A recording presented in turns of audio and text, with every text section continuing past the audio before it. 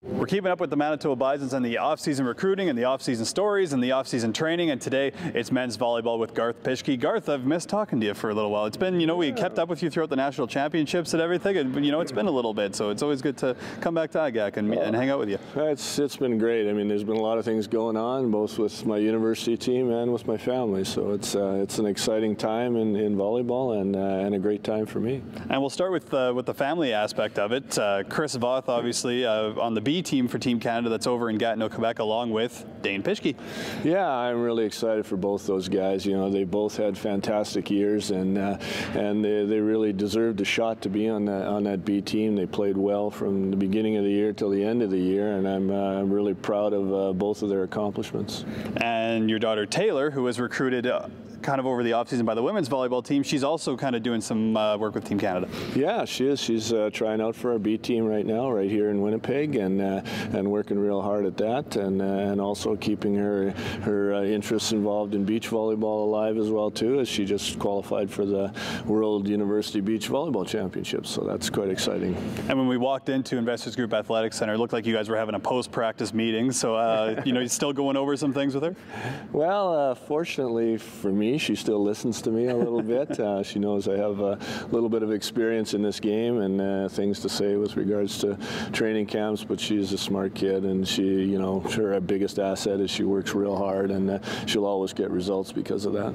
And it's no secret that uh, the men's volleyball team, uh, another big recruiting year, eight guys. If you want to check out all of those players, you can go to gobisons.ca. You can find out all their stats and everything. I won't put you on the spot yeah. trying to keep all those names straight because I don't think even I could do it with a piece of paper in front of me. So I guess because, you know, having a, a, a huge recruiting class like that, the team that uh, you had this year that got all the way to the, uh, the bronze medal at the national championships, they are getting older. They've, uh, a lot of guys like your son Dane only have one more year left, so you're looking to the future.